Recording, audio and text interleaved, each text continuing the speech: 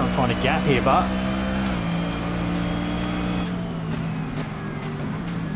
and the outside. Oh, there's contact. Freebies. Right side, left side. Oh, ah. Hold your line.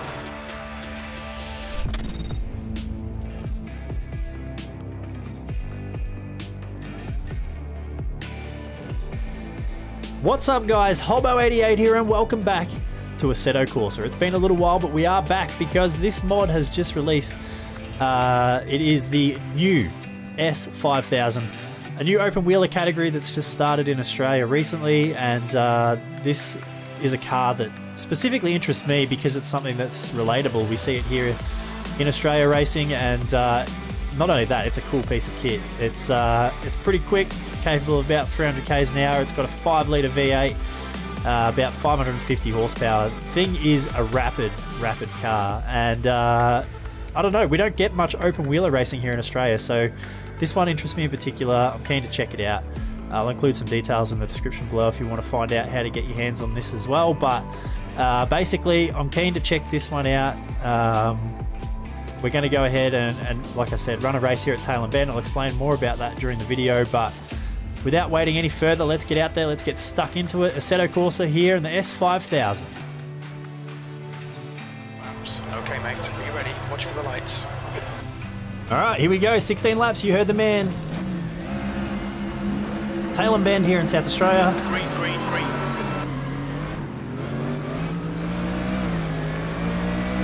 10 car field starting 8th. Trying to find a gap here, but.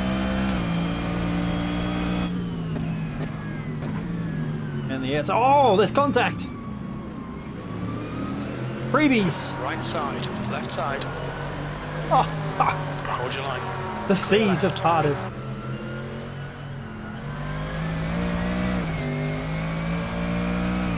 Big lead for the leader, though. Nice start, mate. Well done.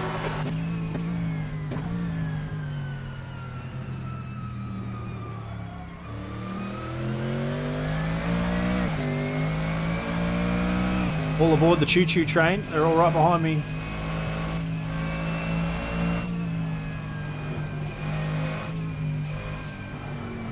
Oh no, we're off. That was lucky.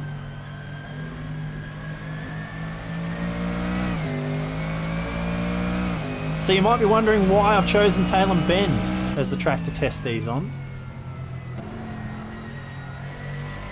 And the answer is that I, I feel like this is actually a good track for testing cars like this on because it offers a lot of variation, a lot of different corner types. Oh, don't do it. Don't do it.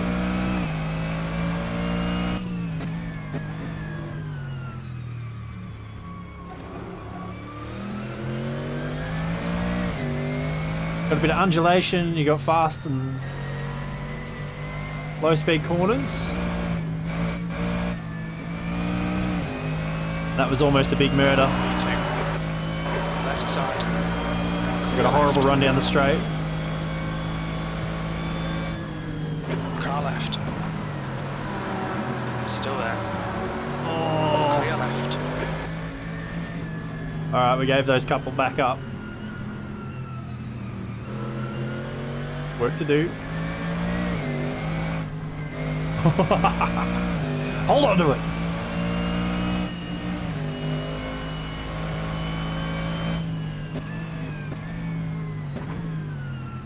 I've only done a handful of laps uh, to get ready for this race, so to take me a little while probably to figure out what I'm doing.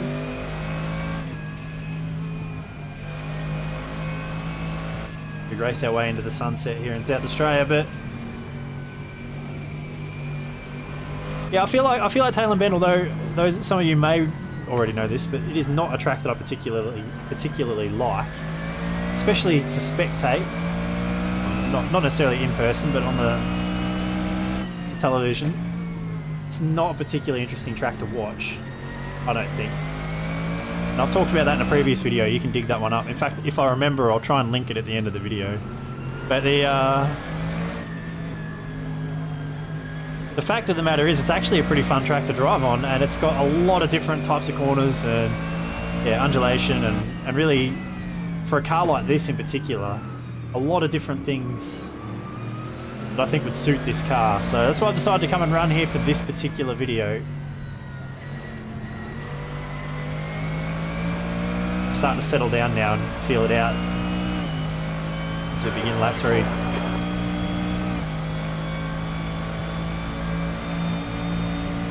Okay, mate. The next Barrichello. Got a fairly long race. Don't do that though. so we got a, we got a little bit of time here to work our way forward. The leader is gone though. Way up the road.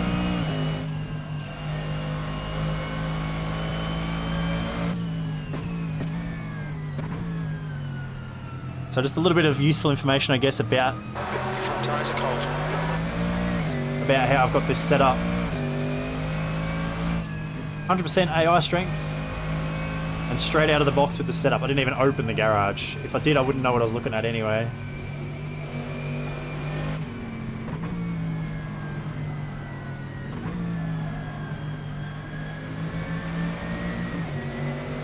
You're reeling Barrichello. The gap is now 0.4.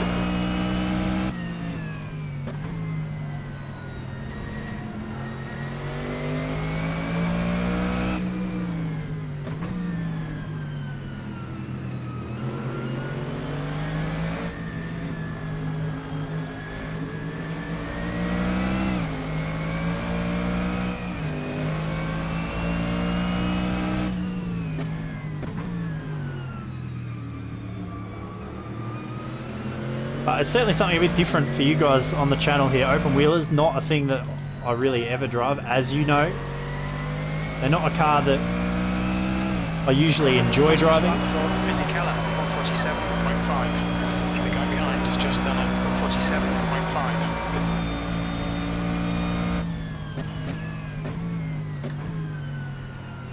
147.5. Um, I'm not. Oh my god, we're nearly crashing that same spot every lap. We need to fix that. Um, I'm not typically Good. The gap is now 0.3. at driving cars with high downforce, so I don't do it a lot, which only makes things worse when I actually do go ahead and drive them because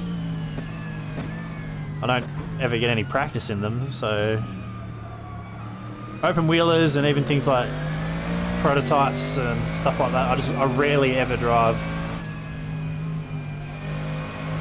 And I mean, typically this type of racing doesn't interest me that much either. Like I'm not a big open wheeler guy. That would be a very brave move. What am I even thinking? Don't go down there. Uh, it's just not something that I watch a lot of. But this kind of is the exception as far as it's a series that runs here in Australia. It's something that has been talked about a lot. And we're exposed to it here. We see it with our supercars. We see it for various different other things on the calendar. And they are appealing to me because, well, firstly, we haven't touched it on it yet, the sound. They sound mega. Oh, I love it. They sound so good. And um, time was at 147.8. in an era where so much motorsport, particularly open wheeler stuff, the cars are sounding worse and worse all the time.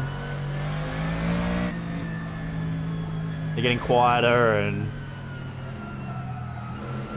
you know, F1 for example seems to be just on a steady decline from the glory days of the big V12 that we all love. What we've got now. As impressive as they are, and as impressive as they sound in their own right, they aren't what they used to be. Don't let this guy distract you. But these sound incredible. So instantly that's appealing to me. But what I also like about them is what I think you're probably seeing here. And it's that they, they don't I mean, they don't look like they drive like a typical open wheeler. I don't. I would love to get some feedback, especially from someone who actually races these things or has a fair bit to do with them, or just someone who understands the sport a lot better than I do. But they don't look like a high downforce car. Like they don't drive like a high downforce car. They're very. I don't know. They they almost remind me of like a '70s F1 car. Like they look heavy. They don't look like they drive like an F1 car, you know? Like they're not loaded with downforce, and it feels like you can get good close racing with them, and it feels like when you watch them, and it also feels like right here, I can confirm, you have to drive them. They're not locked to the road, hold it flat and just go fast everywhere. You, you really have to drive them. They're very difficult, actually, to drive. Hey, we didn't spin out. So they're challenging cars to drive. And apart from the fact that you can wheel them in on a high-speed corner like this one right here, and they've got a lot of grip, so we get a really good run through there actually. They don't really feel like they drive like an open wheeler at all in the slow speed stuff. Now, I'm not sure how accurate that is, of course, the mod, whatever, but that's how it feels here.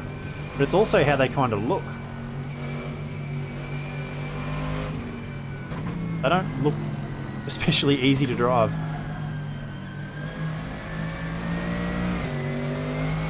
And there's a lot of not being full throttle in corners.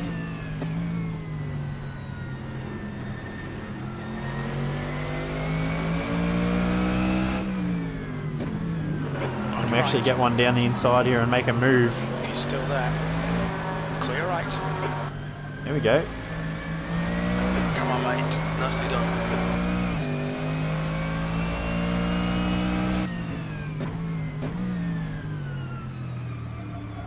Obviously, being uh, a bit of a preview video, I guess, of these cars, only being a new mod. I'd love to get your thoughts about them. Let me know. What do you guys think? Do you like these cars? Do you not like them? P3.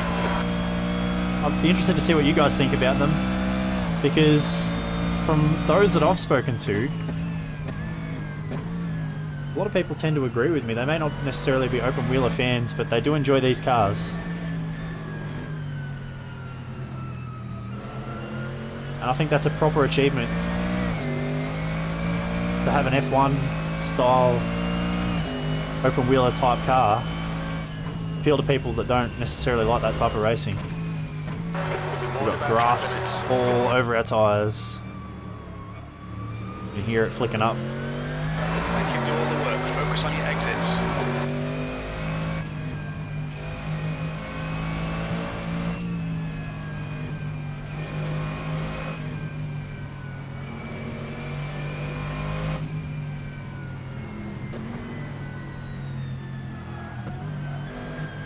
People do ask me uh, whether or not I follow F1, for example, or like this type of racing or whatever.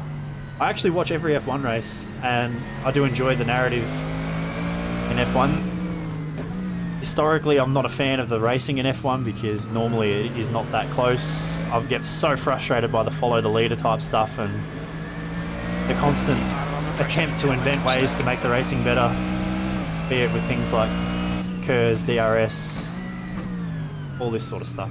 Is not well, I don't particularly like that. But the F1 story has been interesting. I think Drive to Survive has been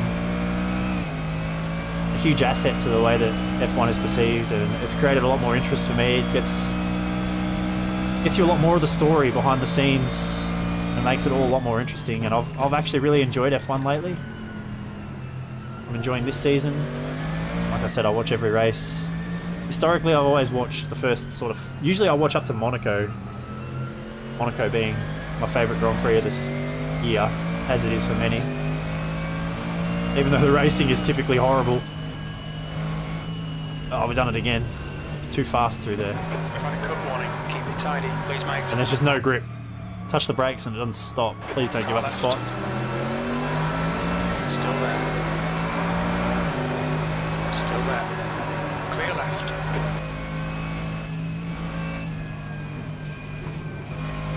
But yeah, in the last couple of seasons in particular, I've. I mean, last year probably helped that there, with COVID, there just was not much happening. So the fact that F1 was running meant there was a form of motorsport we could actually watch. Um, so I did watch the full season last year, and I really enjoyed it, and that's continued on to this year. So I'm not a complete open wheel snob, you know. Like do watch a little bit of it, but it is not the sort of racing that interests me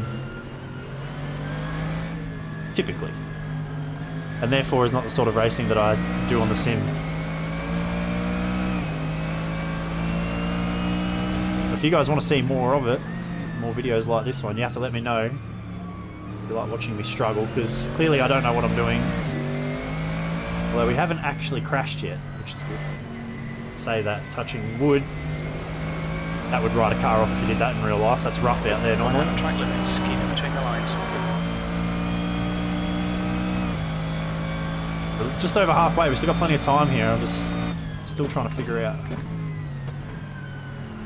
the lines and stuff here. Maybe we should concentrate on that for a lap instead of talking. Okay, mate. Don't let this guy distract you.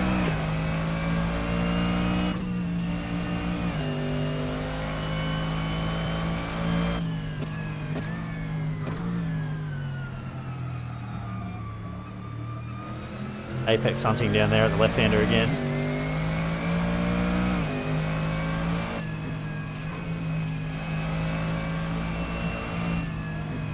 We'll say this long right-hand sweeping section is a lot of fun in these sort of cars with a little bit more grip.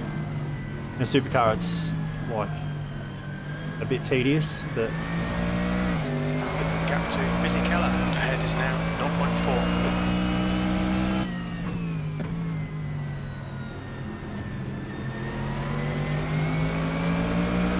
Car right. Still there. Still there. Right side's clear. Great move. Keep it up.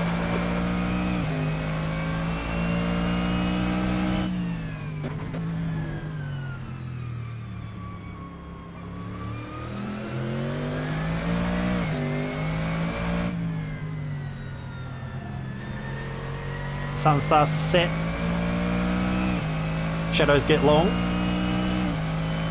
Well done, mate. This is great. Come on. It's, what, six laps here to- Try and make up the difference here. Get to the lead. The leader has not pulled away since the start. In fact, we've actually reeled him in.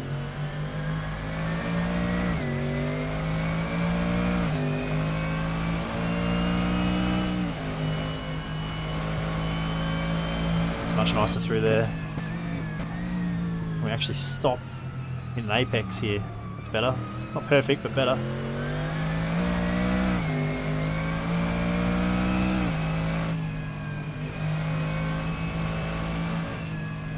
Oh, that's not good. Don't go out there. Oh. That was almost death right there. Don't want to run wide at that spot. We're very lucky that this particular mod, the grass isn't very slippery or very rough. So Busy Keller behind is increasing. It's now 0.9. Tyre temps are good. Good to know.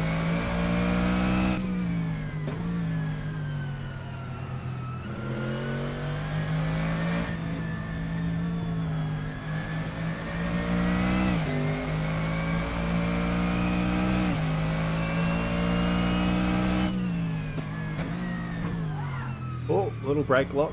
You heard the little squeal. I don't actually know if that was a front brake or a rear brake.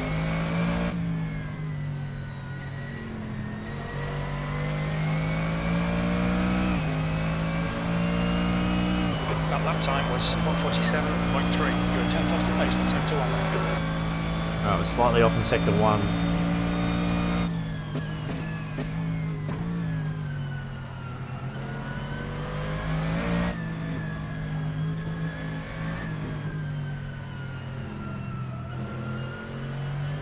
I think this is the first time I've actually driven a car in a sim that has a halo on it.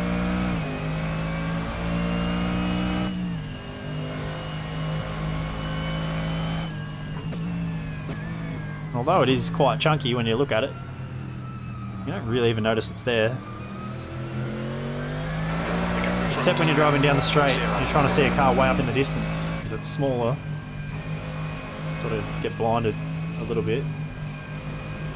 When you're like me and you need the cars in front to use as a brake marker, that doesn't help.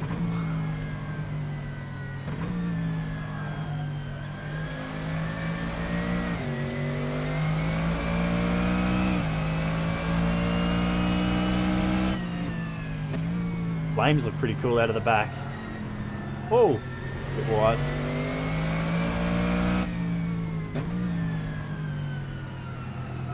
Everyone loves exhaust flames.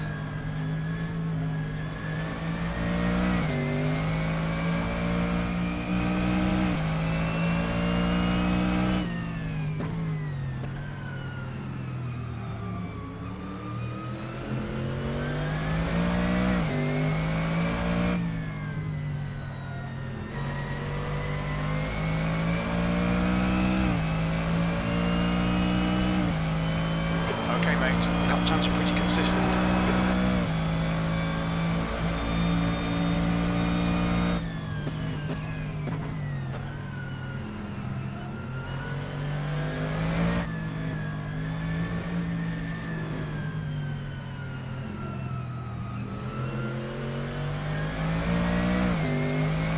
Apart from at the very start where I was pretty raggedy and a bit all over the place, I feel like once you start to get smooth and understand the car, hit your marks a bit better, it probably doesn't do any justice to just how difficult these cars are to drive for you guys to watch. Like, Your front tyres are cold. it's not as easy as it perhaps looks. You are on the limit a lot. Well, that's a bad that's a bad deal right there. Thought I was going to run into him. Ended up exiting stage left. There's just no grip on the tyres when they get grass on them. Behind is now 0.5.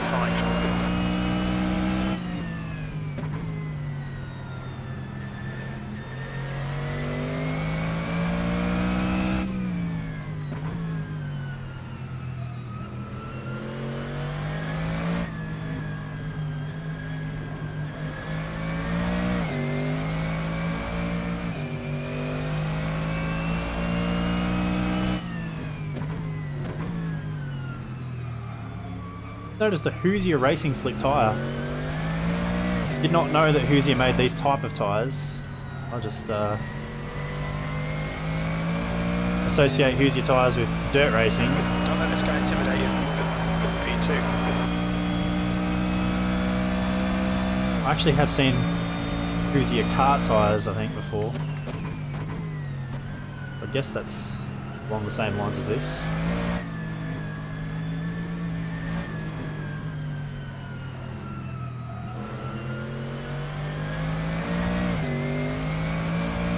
You guys can't see the mirrors or a delta or anything like that, but us top three have closed right up here.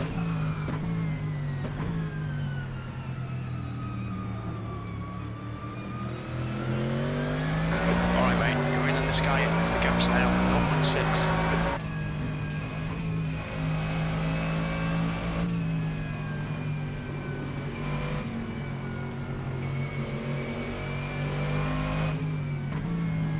sure, we've got a small pace advantage in that long right hand section there.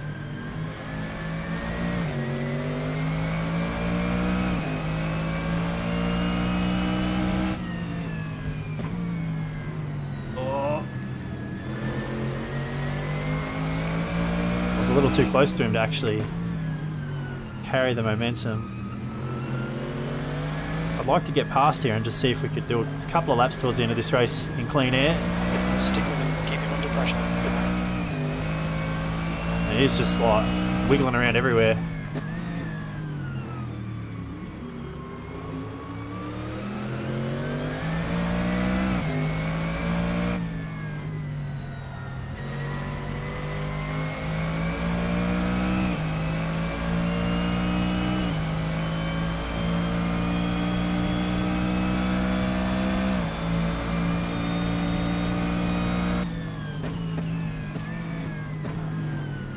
Really any aero gain in the draft, so to speak. That doesn't seem quite right.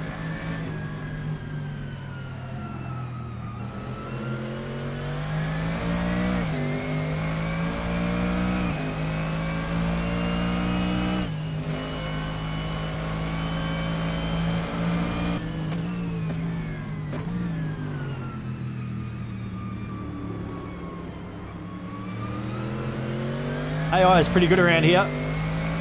Pretty evenly matched. I think there's probably two or three spots on the track where I know we've got an advantage. One of them is here.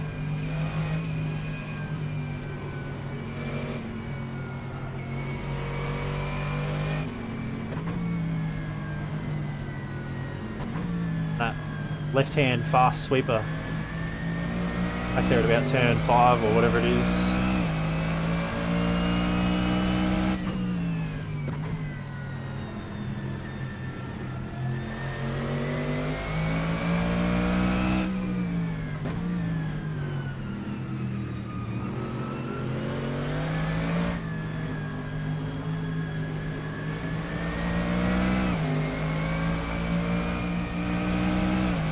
He's squirming up there.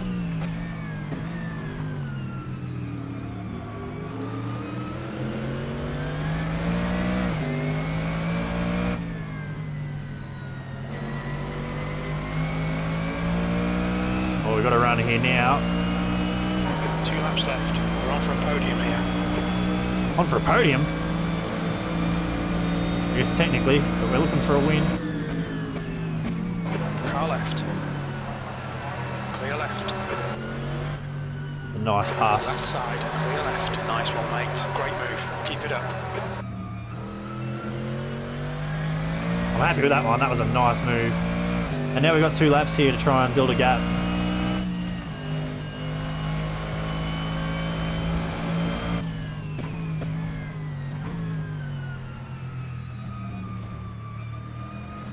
I think we're about as comfortable and as confident as we're going to be now.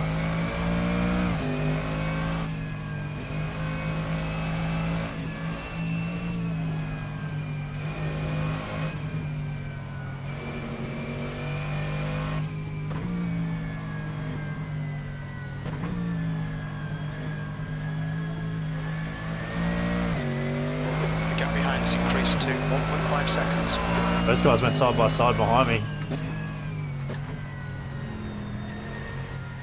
They are racing hard behind me. We're just going to drive away. Almost got in the grass though on the side. That would have been awkward.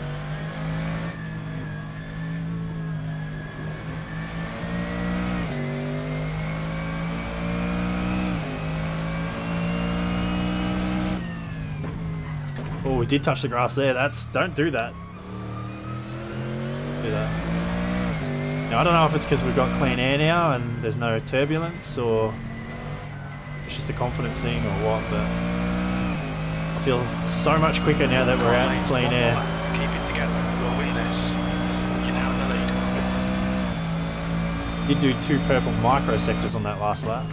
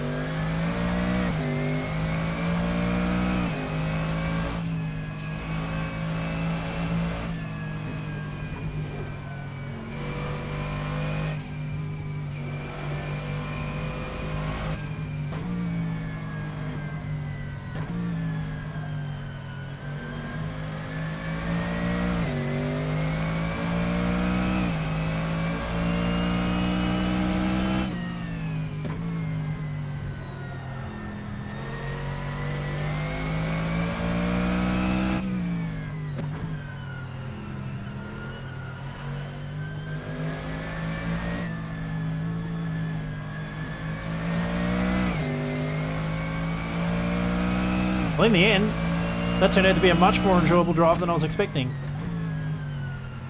These cars are a lot of fun. like I said before, if you want to see more of this sort of stuff on the channel, let me know. That's it for this video. Thanks for watching. I hope you guys enjoyed it. Follow me on Twitter and Instagram, Facebook at Hobbo88, twitch.tv forward slash Hobbo88. Check out the live streams. That's it for this video. See you guys in the next one.